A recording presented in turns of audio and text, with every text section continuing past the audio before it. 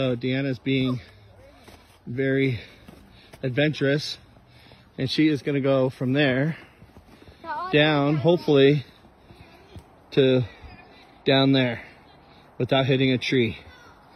Let's see. You- They better stop us.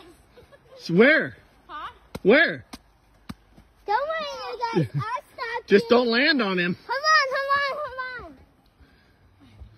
Here we go. my god. Whoa, going over!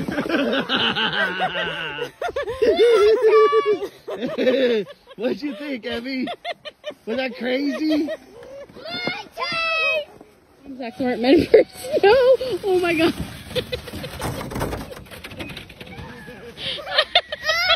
Tom Zach's were not meant for snow.